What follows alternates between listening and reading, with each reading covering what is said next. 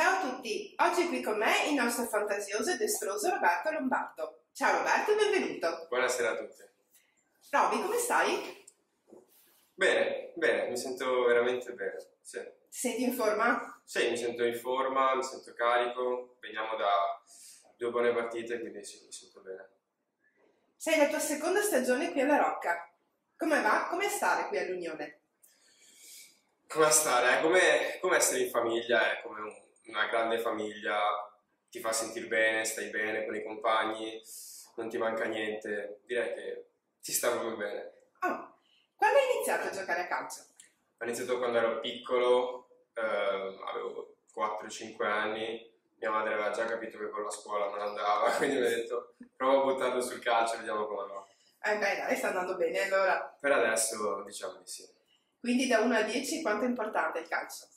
11. 11. Sì. Però. Tu hai la maglia numero 10. Se potessi scegliere il numero, terresti il 10 o prenderesti un numero tuo che per te ha un significato? Diciamo che ho usato il 98 eh, nella, mia, nella mia carriera. È il tuo anno di nascita? È il mio anno di nascita, però diciamo che al 10 ci sono affezionato anche perché il mio giocatore preferito è al 10, quindi mi sento molto più... non lo so, lo sento mio, non so Senti tu, chi è il tuo giocatore? Neymar, il mio giocatore preferito. Eh? Grande ispirazione. Ehm, parlando un po' di te, anzi, dei tuoi tatuaggi, quanti ne hai? Eh, Hai perso il conto? ero arrivato a una settantina più o meno. sì, Però, sì. cosa rappresentano per te i tatuaggi? Diciamo che alcuni hanno un significato vero e proprio e invece altri sono pura estetica. Il primo che hai fatto? Il primo che ho fatto, questo a 13 anni, 14. Sì. L'ultimo? L'ultimo, quello che ho su tutta la schiena. E il prossimo quale sarà? Eh, oddio, non lo so, non, ho- non ci penso. Quando mi viene un'idea, se mi piace, lo faccio. Ok.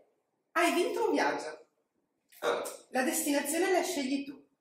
Dove vai e qual è la prima cosa che metti in valigia?